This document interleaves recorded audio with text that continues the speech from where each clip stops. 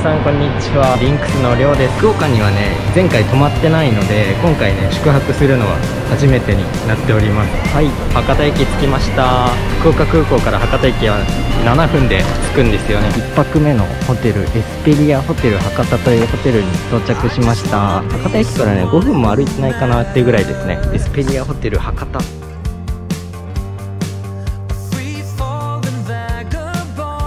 テルのね、室内細かく見ていきます。ハンガー、このクローゼット系になっております。消臭スプレーとかが置いてあって、この下はね、空気清浄機が靴べらとかブラシとかスリッパですね部屋の中にね洗面台があるパターンになっていますこのテレビ台とかのデスクに洗面台が一緒にくっついておりますコップが2つソープ苦しんでますか外せますね鏡がボディータオルと綿棒あと歯ブラシも置いてあるしこのようこそエスペリアホテル博多へというもののメッセージもあるし、ヘアブラシ、カミソリとか、ドライヤーも、これがね、折りたたみ式の鏡、新型コロナウイルス感染症への主な取り組み、まあ、除菌の強化とか除菌液の増設、いろいろと書かれております。チェックインの際にね、手の消毒と体温きちんと測らないとチェックインできないようになっておりました。これ32型とか40ぐらいかな。まあ、ちょうどいいサイズですね。ベッドからこんな感じで見やすい位置に配置テレビの下がね収納になっててスチームアイロンが置いてありますね。めったにねこういうの置いてあるところないんです。けどこれが置いてありますね。これかけたまんまアイロンできるやつから東芝です。いい。ちょっと使ってみましょう。電気ケトルでお茶とかコーヒーとか。ドトールの粉がグラスもあるしカップもあります。この下は金庫になっているみたいです。ここら辺は何でしょう？エスペリアホテルの朝ごはんということでこれねネットでも見たんですけど福岡県産にこだわった食材で毎日40種類以上の料理をご用意しておりますと。大人1500円子供800円朝7時から10時まで。今回ね朝食付きで予約しておりますのでお楽しみに。これがね冷蔵庫のスイッチかな。そんなに大きくはないかな。あエスペリアホテルのね、水が2本置いてあります。ご自由にお飲みくださいということで、いいですね。洗面所のスイッチとコンセントが綺麗ですね、エスペリアホテル。で、これ館内着とかあるし、ベッドになってます。景色はね、どうでしょうか？あ、外はね、駐車場ですね。立体駐車場が、電気とかもなんかおしゃれでこだわってますね。エアコンもちゃんとついてます。こんな感じですね。枕元は、USB のケーブル入れるところ2つとコンセント1つ。で、このベッドライトがちゃんとついてたりとか、あとここの目覚まし時計ですね、10時50分。ここにね、小物類を置くことできると思います。常備と非常のサイズ使える懐中電灯となっています。お風呂です。なんか広そうですね。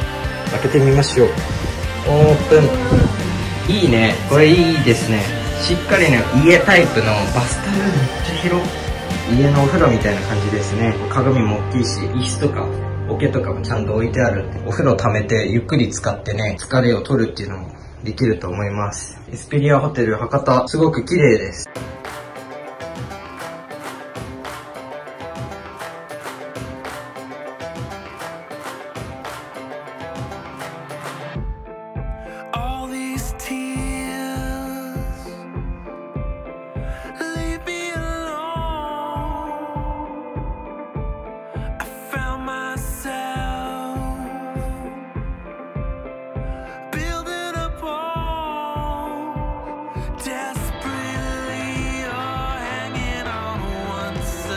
1階のね、フロント階に行けば、販売機とか電子レンジもあるし、こんな感じでさっき持ってきたんですけど、氷なんかももらえます。朝食会長1階になっております。比較的割安でおすすめのホテルになっております。すごく清潔感を感じられます。電気とかもね、おしゃれで結構こだわってますね。博多駅徒歩5分ぐらいかなのところにあるエスペリアホテル博多宿泊してみました。ぜひ博多に来た際はここもどうぞ宿泊してみてください。リンクスの寮でした。バイバイ。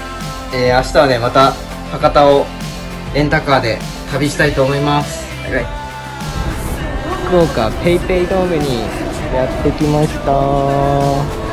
ソフトバンクホークスのね、本拠地、福岡のペイペイドームです。これもともとヤフオクドームだったんですけど、ペイペイドームに名前が変わりまして、福岡ソフトバンクホークス VS 東北楽天イーグルスの試合ということで、1位2位争いの3連戦本日よりスタートです。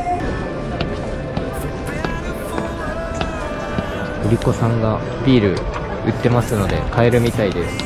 あんな感じで。はい。ご飯買ってきました。今回、柳田選手のガーリックライス丼